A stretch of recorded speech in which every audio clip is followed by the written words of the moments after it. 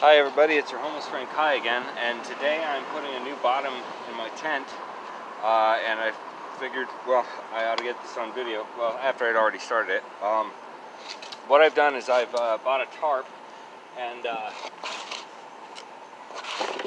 I uh, cut it to about two inches larger than the bottom of the tent, and I have put on some DAP Weldwood uh, contact cement, and with a brush onto one quarter of the tarp and one quarter of the bottom of the tent and I'm going to start with that so that I can line it all up and, and get it glued down properly. Uh, one of the things I noticed about this tent uh, is that uh, the bottom isn't uh, very waterproof and uh, if you set up on a hard surface where the water pools, the water will seep through the bottom of the tent. Uh, and I'm not above uh, modifying stuff to work better, so that's what I'm doing. And uh, now that the rubber cement is dry, uh, or the contact cement is dry, I'm going to show you guys how I'm going to glue down this uh, quarter of the tent. Now, you want to start from the middle. Uh, sorry, my alarm's going off. Okay, uh, you want to start from the middle, and once it's glued down, it's permanent. So you want to make sure you have it lined up. And, oh, careful. Now, you want to start from the center, work your way up slowly, all the way to the edge, and all the way up the side wall of the tent.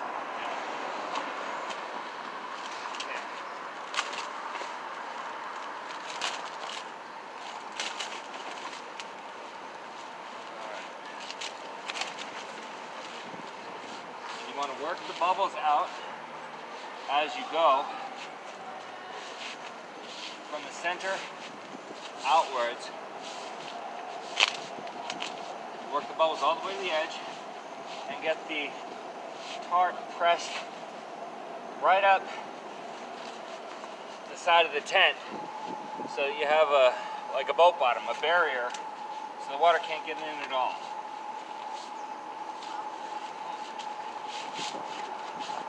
Center, outwards. Push your bubbles out. Stretch the tarp as you go. Now, I have this quarter done, what I'm going to do is roll up the tarp into sections about a quarter wide so that I can the rest of the tarp.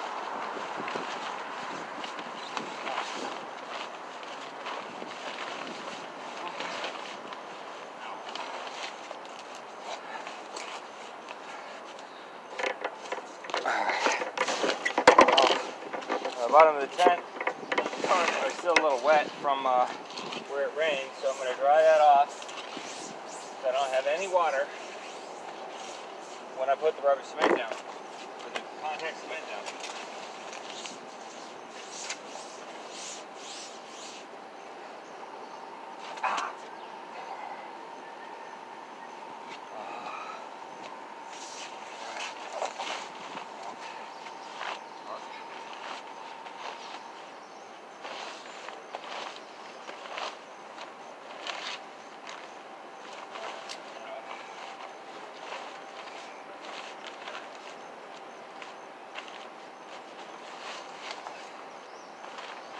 Now, all of these pop-up tents have negative reviews and, and little bad things about them. Uh, most people don't like them because they're a three-foot circle uh, that you have to carry into camp, and it doesn't pack really well. Uh, but, uh, you know, that's why, I mean, they were developed in 1988, and uh, in 1992 they were featured in the blockbuster movie Congo. Uh, and you would have thought that would have been the marketing genius ploy that would have made these tents popular. But as easy to set up as they are, they have just as many fallbacks. Um, I am uh, I'm not above redesigning it, even if the industry uh, doesn't think that they'll take off. They're still on the market, but they really haven't improved since the, since 1992. Um, and right now, I'm going to mark off where my glue line is.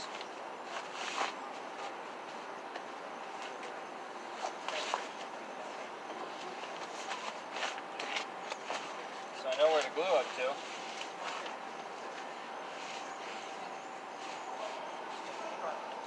And it is about halfway to the door. Then I will lay down a layer of contact cement on the tarp and then on the tent bottom and let that dry. We're gonna pause the video for now so it doesn't end up 20 minutes long.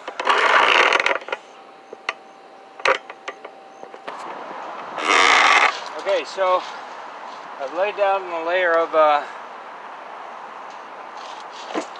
contact cement about halfway through. And um, just brushing it on with a brush. And uh, you have to watch it because a tent is not the most well ventilated of spaces to be uh, using contact cement and uh, the, the fumes are very uh, very toxic so uh, so make sure you have plenty of airflow. And uh, I have my little fan here. I'm going to put that down on here to help the contact cement dry and to keep the temp ventilated a bit so I don't get dizzy and pass out. Um, so yeah I'm I'm gonna pause the video again and I'll get back to you when I get a little further along. Okay, so I'm ready to lay down my section section here.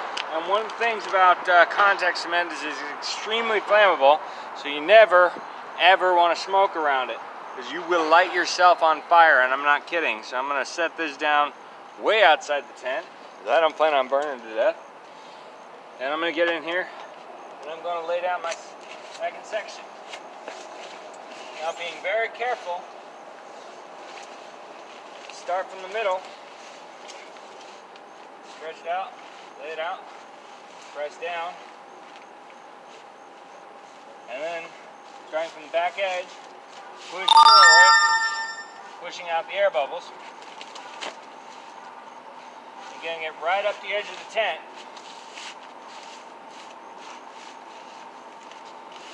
So that I have barrier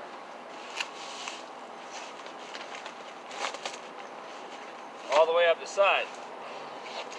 About two inches up the side to be exact. Oh, that hurt. Mm-hmm. Alright, so you want to be careful. That's what I did. Lay it down a little too soon. Close to the edge here because once it sticks itself, it's pretty permanent. Uh, I've got about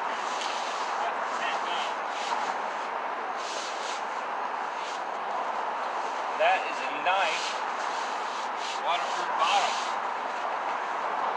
Oh. bring this back here to another quarter. I'll be able to put that down. Pause the video again. Lay down a layer so it's not 20 minutes long. And uh, I'll get back to you. Now, let me start by saying that there are more expensive pop-up tents on the market. But even with this $15 modification that I'm making, that the uh, 8.95 for the bottle of DAP uh, contact cement and the $6 for the tarp uh, and the labor that I'm putting into it. This is the most cost-effective solution for the for the tent that I'm looking for. I'm disabled. I'm unable to set up a regular tent. Um, and uh, it's just not worth an extra 200 bucks uh, for a more expensive tent that's probably going to have the same problem with water seeping through the bottom. Because, uh, uh, I mean, honestly, out of all the reviews I read online, there isn't there isn't a tent out there that's $200 better than the Coleman two-person pop-up tent. Uh,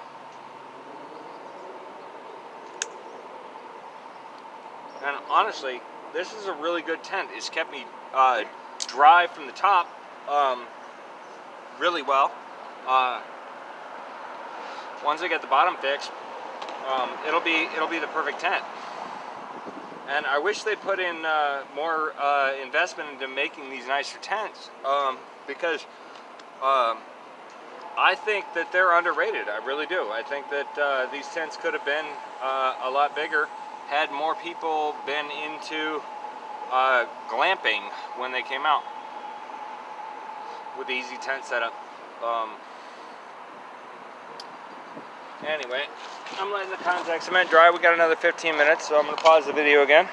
But uh, yeah, I mean it's a it's a very easy setup to uh, to do this. Um, and I'll get back to you uh, as soon as I get this layer glued uh, in. Okay, so I'm gluing down the last section here. how well you can see it. Uh, yeah, it's uh, it's coming along nicely. Slide in here.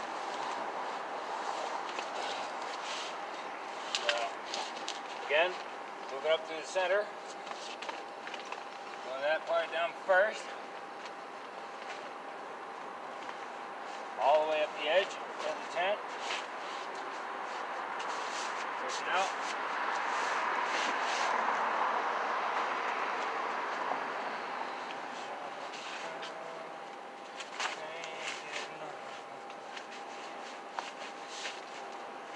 Making sure I get all the air bubbles out.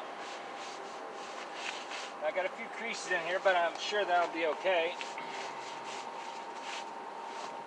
And uh, hopefully if you have to do this, uh, you won't get as many creases.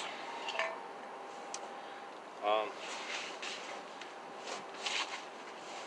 my hands don't work as well as they used to, so I'm get a few. But uh, but yeah, this is uh, going on nicely, and uh, I have a completely watertight tent now. And uh, I, I, have to say it took me about uh, 45 minutes total. Um, and I think I did a damn good job. Thanks for watching. Uh, make sure you hit that uh, subscribe button if you haven't already. Um, check the description for uh, my list of uh, things you need if you're homeless and want to live comfortably. Um, thanks for watching, and I'll get back to you guys with another video soon.